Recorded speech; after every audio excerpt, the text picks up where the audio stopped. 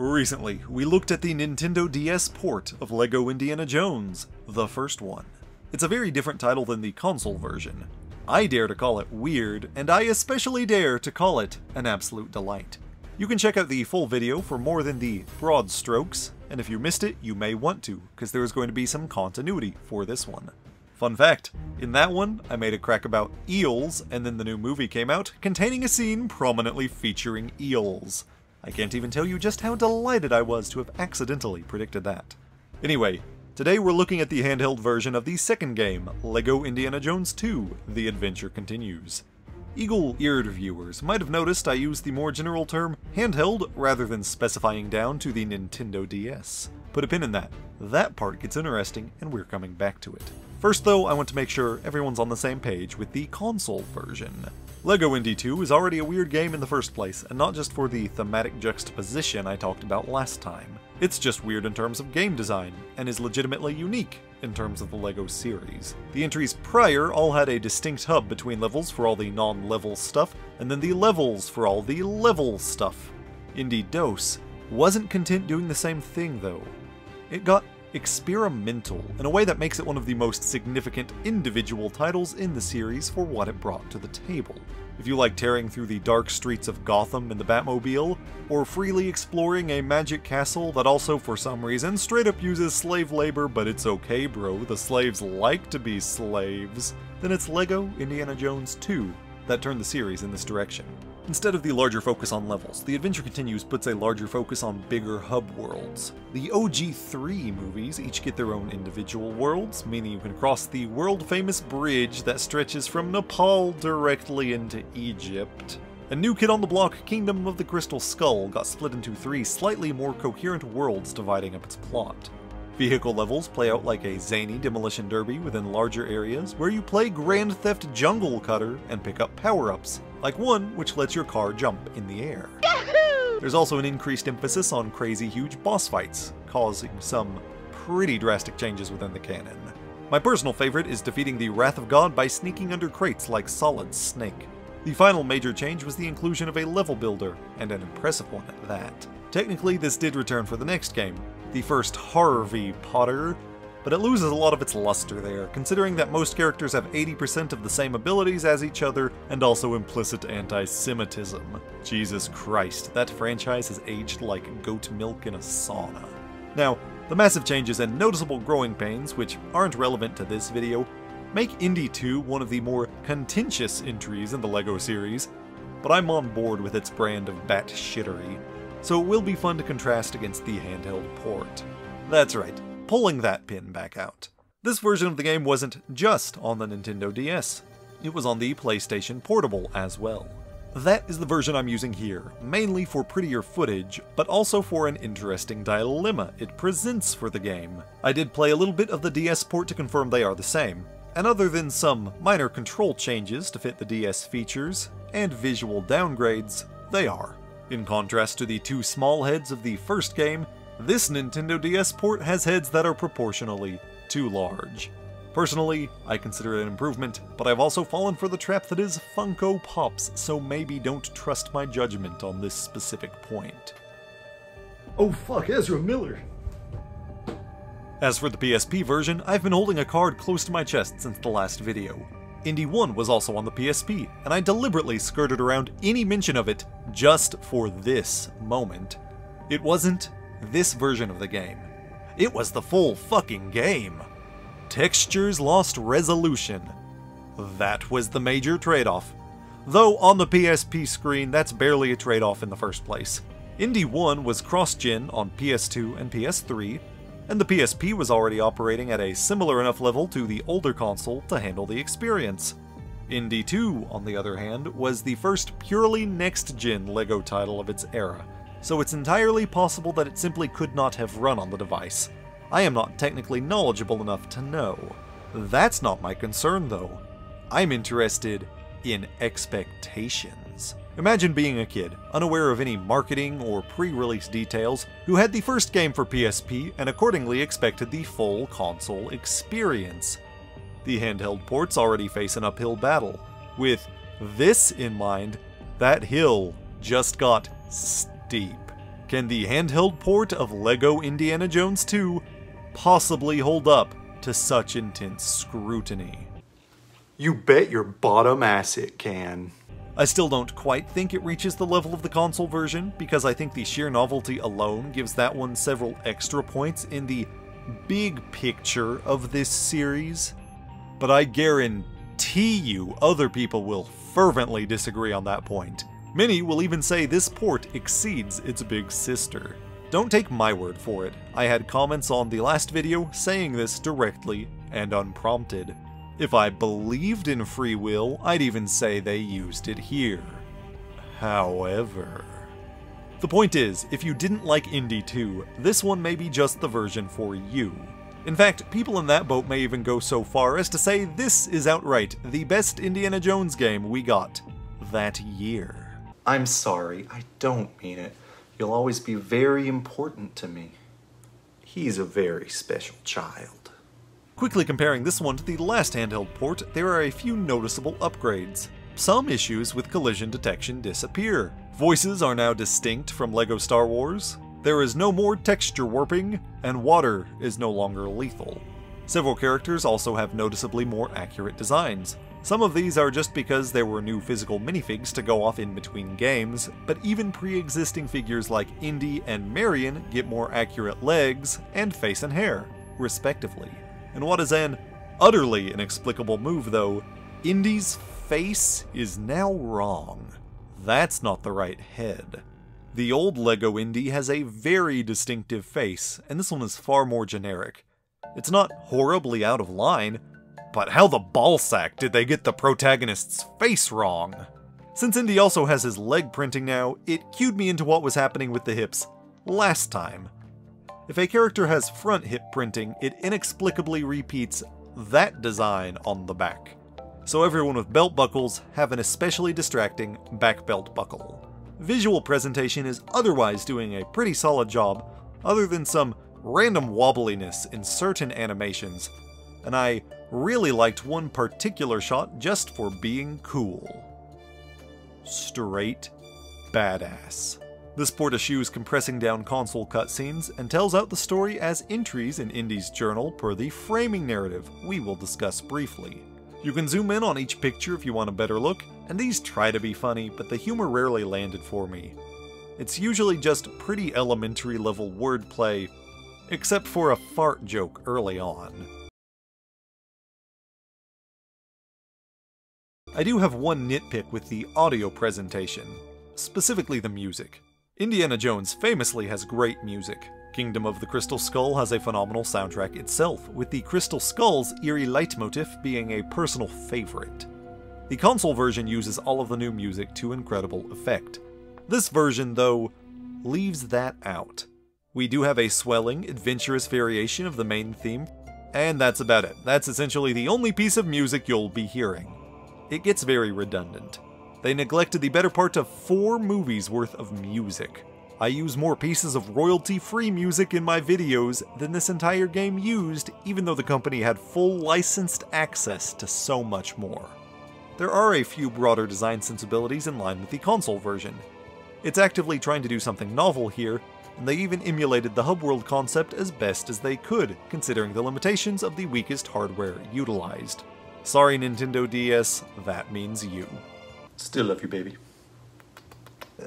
There's only one hub world, and it actually gives us a unique framing device for the story. Indiana and Marion are flying off on their honeymoon after their wedding at the end of Crystal Skull. Oh, yeah. Inexplicably, nearly every major villain from the movies has come back to life and infiltrated the plane. They try to steal Indy's journal, leading to a less graceful touchdown. The comedic timing here is pretty impeccable.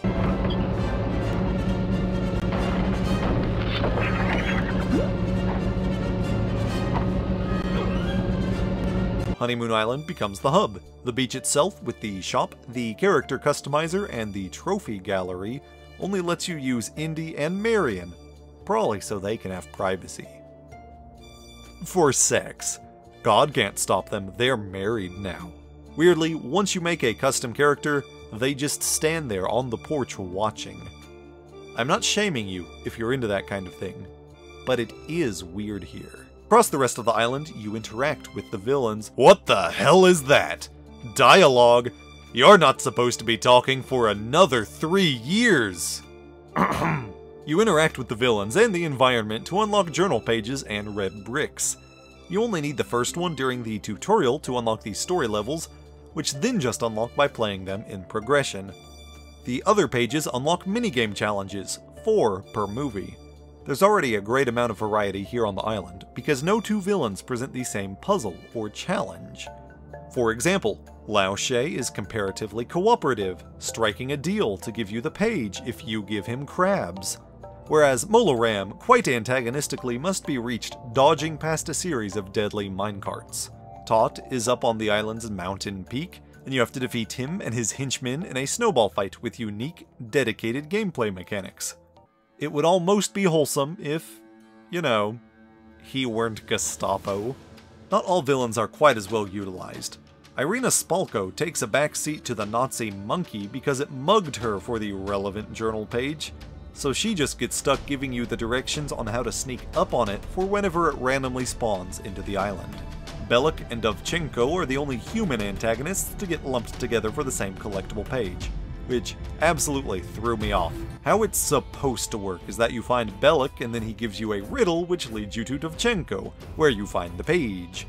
However, the game spawns in Dovchenko from the outset and he has far fewer steps to reach than Belek.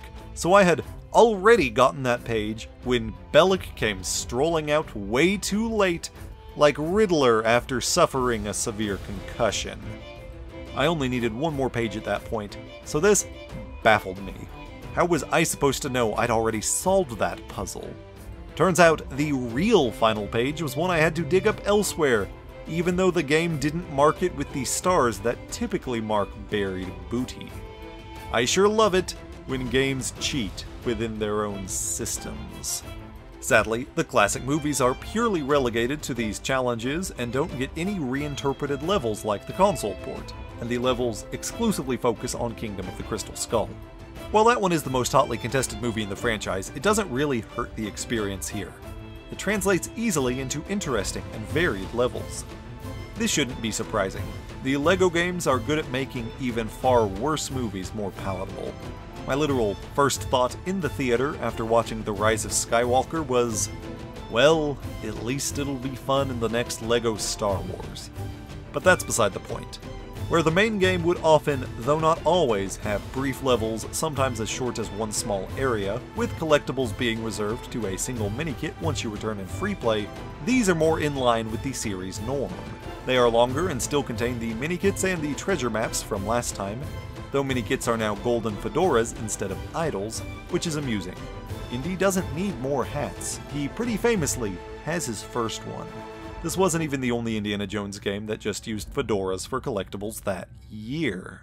You really are a special thing, ain't ya?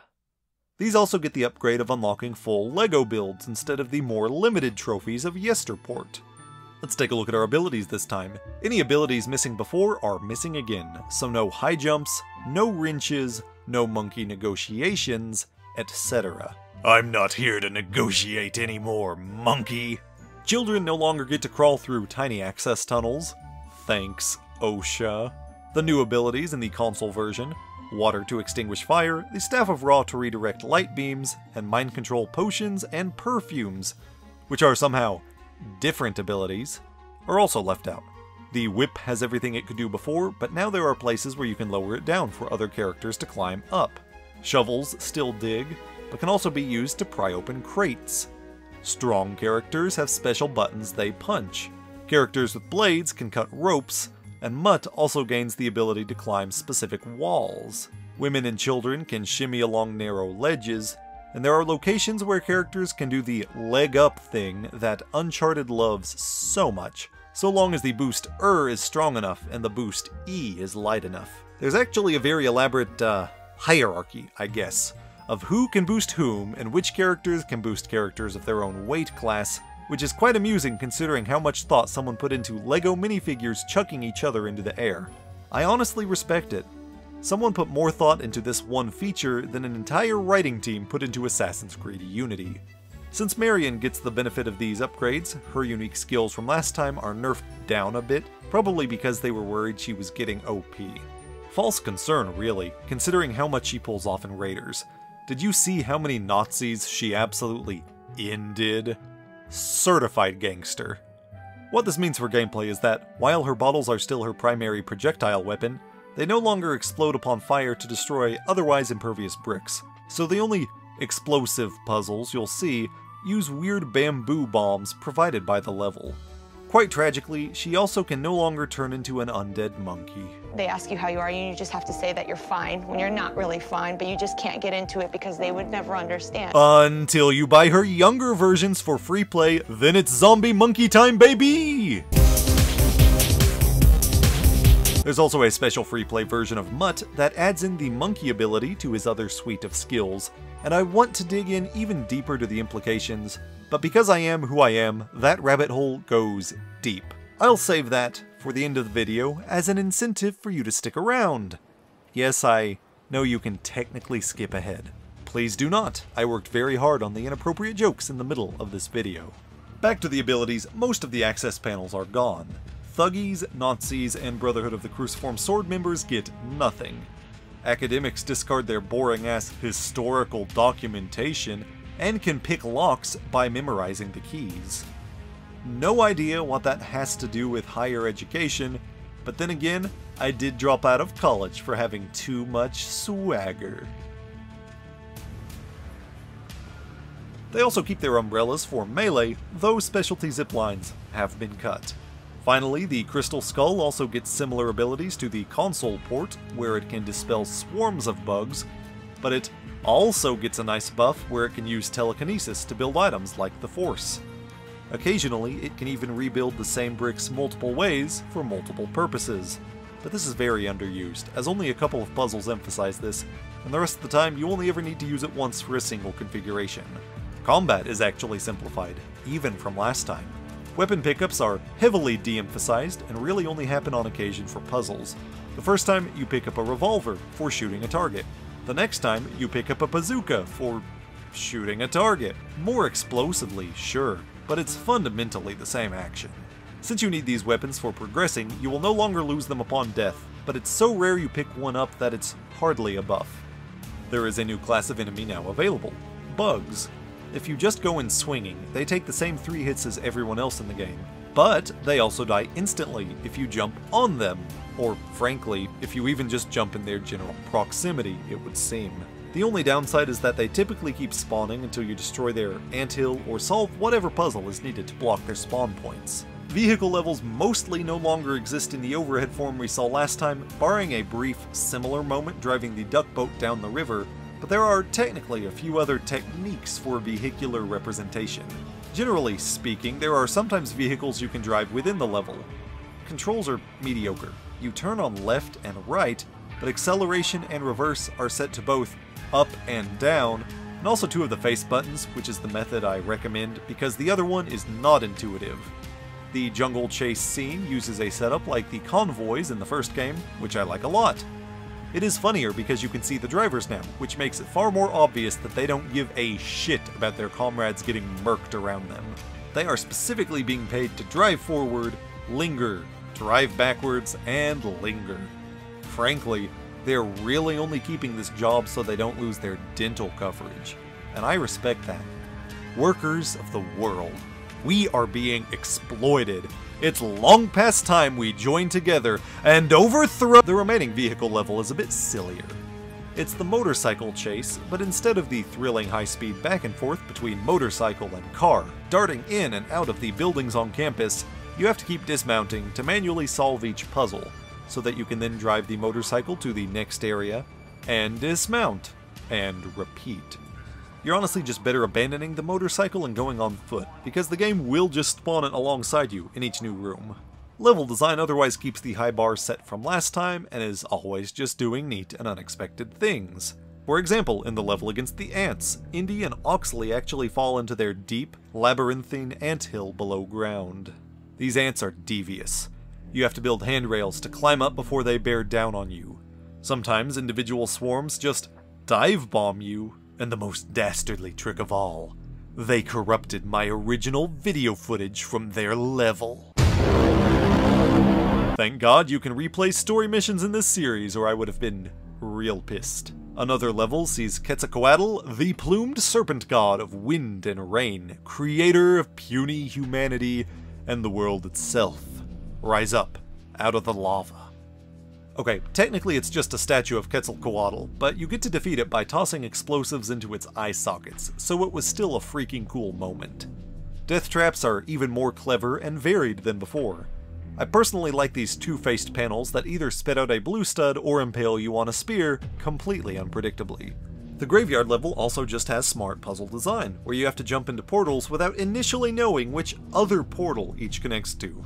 Sadly, boss fights are more de-emphasized in the console version, not counting Quetzalcoatl in the mix since that's non-resistant deicide at best. Irina Spalko's final boss is okay, where she uses lasers and a pistol, while you have to activate the crystal skeletons to mindfuck her. Dovchenko's is more anticlimactic. You just shove him in the ants. Yeah, that's more accurate to the movie. But the ants swarming together into a mecha formation to step on you instead is a much more fun experience all around.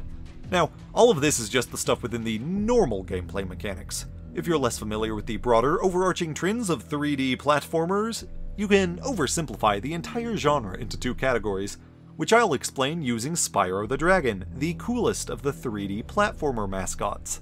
Crash Bandicoot can slurp my shaft. The first category is like Spyro the original. A large majority of the game is all about using the default gameplay mechanics, and while there can be special levels with a different setup, those are the minority and typically all share the same secondary gameplay mechanics as each other. The second category is like Spyro 2. A significant portion of the game consists of mini-games, and most or all of these have unique mechanics instead of sharing them between mini-games. The LEGO franchise nearly always falls under the first category. I'm predicting that you've already figured out this port falls under the second category. If I predicted wrong, I apologize. My psychic powers only work when eels are involved. This version of Indy 2 is routinely throwing in new set pieces and activities and challenges, and broadly, they work well. A lot of times there will be the option to unlock a minikit if you complete them under a particular time or with a particular score. One plays like an endless runner, years before Subway Surfers started cluttering up that kind of clickbait video. Another is a blow dart shooting gallery where player 2 keeps popping up like a dummy in the middle of enemies. I've already mentioned the snowball fight. There's a whack-a-mole that lets you combo off of the groundhog's heads. There's a great parkour challenge where bullets are whizzing all around you, which yes, can hit you. There's a sword fight. And there's one where you have to execute indigenous warriors by dropping them into lava for daring to protect their native lands from invading forces. Uh, that, that one feels a bit mean. Not all of these are fun. One late in the game gives you a first person crossbow to shoot bamboo bombs out of the air, while Oxley builds bridges off in the distance as slowly as humanly possible.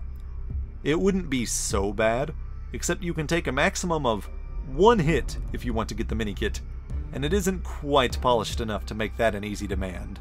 As mentioned, most of the island's journal pages unlock 4 minigames per movie, loosely based on specific scenes. Unfortunately, most of these get too frustrating to be fun. For example, there's a Cairo platforming level where various rooftops, awnings, and camels make zigzagging paths to get to Marion in a punishingly strict time limit. Also, when you jump on the camels, they fart. This is going to be my legacy. I'm going to be remembered for talking about Lego farts. Some of them get worse from there. The climb up the castle tower from Last Crusade makes the admittedly loose platforming even more unwieldy, because the environment is inside of a tight cylinder, and the curve throws off so much of your muscle memory. There are still points of interest in these. Two of Crystal Skulls are racetracks, racetracks with shitty handling, but they're interesting nonetheless. My favorite sees the monkey put in so much unnecessary danger. Look at these fucking dudes, willing to chop right through a small primate they clearly saw coming. They're not being paid to avoid stabbing a capuchin, they're really just keeping this job for the dental. Workers of the world, we need to. The cast of characters is again a solid representation of the franchise, with a few more exclusive variations in this version, like the main cast getting their wedding outfits once you beat the story. Also, the clown's back. In a. in case you were worried about the weird clown from last time. He's still here. You can calm down. Red bricks are pretty much the same as last time. By that I mean fast build, regenerating hearts, invincibility, and one hit kills, and the stud multipliers all return. And the only additional one is that they remembered to include studs times 8 this time. Otherwise, the only other content was a build your own adventure option in the store, which I briefly got excited for, hoping for some degree of a level builder or level remixer or something cool, but it was sadly just replaying the 16 movie minigames back to back. The game touted this as a way to unlock bonus movies, but I did the first one and it was just one of the cutscenes from the console, so I decided not to torture myself any further replaying some of those. If I missed something neat and exclusive, you'll have to let me know in the comments. I will believe any lie you tell me. One thing that I did not overlook, however, so do not be typing it in the comments section, is the game's secret ending. That's right, you can unlock a secret ending for this game. In it, Indy and Marion get through a new gateway to discover that there has been a resort on this island the entire time. One of the patrons is even a stormtrooper, and not just any stormtrooper, but the best stormtrooper, the Beach Stormtrooper from the LEGO Star Wars games. Indy absolutely takes a peek at those sweet, sweet man titties. There's a very sweet moment. Indy and Marion are out sunbathing when all of a sudden Indy realizes there's some sort of secret still on the island indicated by the map that he has. However, when Marion gets frustrated at him falling back into his usual shenanigans, he very respectfully puts all of that away so that they can focus on their quality time together. And the beach stormtrooper is having absolutely none of that. I'm not sure exactly what's got this guy frustrated. I'm not sure if he thinks Indy should have gone after the treasure. I'm not sure if it's the public display of affection. I'm not sure if he wishes he had a gorgeous babe like Marion. Or maybe even have a rugged, strong, incredibly capable hunk like Indy. I've forgotten what I was talking about. All in all, this port of the game is yet again a consistently solid experience. While the further simplification of several abilities and the lack of more fleshed out content for the classic trilogy are certainly downsides, the whole experience here is just so much more polished that it mostly exceeds the first handheld port, and even when it doesn't cross that line, it's still a worthy follow up. Now, I've saved the best for last my monkey theory, one which I think ties everything together. And I do mean everything. It all started with a single question What if this isn't shape shifting in the usual sense? Let's look at the timeline. Marion can only swap out with the monkey at a younger age. At some point, but not during the events of Crystal Skull, Mutt can do the same thing. It's also not one of the generic monkeys he swung around with, it is distinctly wearing the same garb as the Nazi monkey. Since their temporal contemporaries cannot both access the monkey, it would seem the monkey can only possess one person on the mortal plane at a time. I use the word possess intentionally. Over in the DC universe, there is a powerful demon named Etrigan. In order to limit his evil spread, Merlin the Wizard bound him to one of King Arthur's knights, Sir Jason Blood. And so, Etrigan can only emerge onto Earth when Jason explicitly speaks the command to allow it, and they swap forms in the same body. What if the monkey is doing the same thing here? We know there is some version of a Judeo Christian god in this world, so there is quite plausibly some version of hell too. Since the monkey is a Nazi, it would absolutely go straight to hell upon death. Perhaps Satan was particularly impressed with the depths of evil in this monkey's heart. If you're wondering, the Larry Boy video game created the implication that his villain, the Bad Apple, is Lucifer incarnate. You can check out my video for the finer details there. Yes, I do find it strange that these E rated games I keep covering keep leading me back to themes of eternal damnation, but that's beside the point right now. Let's say Satan grants the monkey the ability to continue its work, form shifting with a willing human. That would explain why these swap pads are red, because they are linked to hell, which is obviously red because of all the hellfire.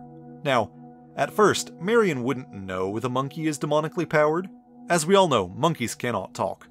However, at some point, she finds out and rejects the demon Nazi monkey's power. Perhaps the holy presence of God gave it away, which is why she cannot do it after the events of Raiders. The years go by. Frustrated by losing this foothold into the mortal realm, Satan uses more of her power to unleash the souls of all the major adversaries of one Dr. Henry Jones Jr., who has firmly cemented himself as an enemy of Satan by accepting Jesus' grace by drinking from the Christ cup. They ambush Indy and Marion on the plane, not just because of their vulnerability, but for one key item Indiana's journal. You see, the interdimensional beings of Akator discovered how to fully travel between planes of reality. Certainly, that would be useful information for the forces of Hell to have, so that they can better compete in a world where multiple religious pantheons exist and intervene with humanity. Since the aliens have already GTF out of there, smashing up the place on exit, Indy's records of events are probably their next best bet for that information. Unfortunately for them, Lego Indy was only capable of bad puns and bitching about broken elevators. But the monkey wasn't done just yet. There was a new opening revealed Mutt's opening, and the monkey was ready to fill it. In the journal, Mutt's thrilling encounters swinging across the vines with the Capuchins would reveal his vulnerability. This was Mutt's shining moment. The way he moved so gracefully, surrounded by spiritual peers to save the day. Mutt wouldn't be able to reach this peak again out in the normal world. He would never know the true freedom that monkeys know again. And deep down, this was a bitter pill to swallow. This is where the Nazi monkey would be able to swoop in with the same arrangement she presented to Marion. That's right, it's been a girl monkey this whole time, and you didn't even realize it. Bind my soul to yours, and become the monkey you long to be. Bind your soul to me, and return to Monkey. The free play variant of Mutt shows us exactly what choice he made. Tragically, this is the worst possible choice he could make. Spoilers for Dial of Destiny incoming. Because Lego Mutt has pledged his Lego soul to a Lego demon Nazi monkey, when he dies in the Lego Vietnam War, he is bound for a spot in Lego Hell. Some of you may be wondering how this theory uh, works with the fact that Marion can also turn into the monkey in the level in Cairo before she dies eating the poisoned date. And. And. You know, maybe you, specifically, should stop worrying about the specifics. It's just a Lego game. Maybe you shouldn't take it so seriously. Hold on, one quick thing before I end. You guys, I want to thank you so much for the huge support you gave on the video about the DS port. I expected my usual numbers, a few hundred views after a few weeks, but holy crap, you guys watched that thing 85,000 times as of writing. That is insane, and I thank you so much for that. Considering my subscribers have also jumped up by about 2,000 in that same time frame, a lot of you are probably new. Welcome to Baneshake! I've got an ongoing long-form series about the Assassin's Creed games, currently through Unity and the Chronicles spin-offs, with Syndicate coming up next, and I've started doing the same for Arkham as well, with Asylum and City covered so far. Otherwise, I typically cover random games that pique my interest, as I have done today, and sometimes I even branch out with things like unnecessary censorship or goofy little think piece video essays. If you enjoyed this, this is the sort of tone and style I just about always go for, and I certainly appreciate anyone who decides to poke around on my channel a little. I've been doing this for, hell, eight years now, so there's plenty to choose from. Regardless, if you're willing to like and comment, that always helps. I'd love to see you back if you want to subscribe. But even just you watching all the way to the end means the world to me.